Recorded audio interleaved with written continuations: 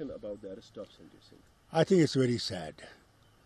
Sanjay Singh has been very vocal in the parliament against many acts of the government of India which he has opposed.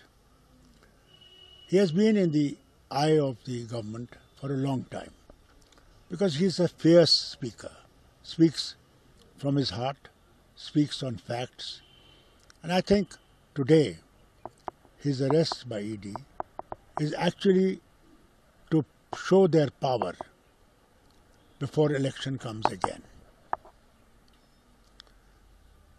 I totally oppose such actions. I think it's wrong to arrest a legislator who is absolutely clean and is put behind bars because they say, according to what I heard, that he didn't answer certain questions. You don't arrest a person.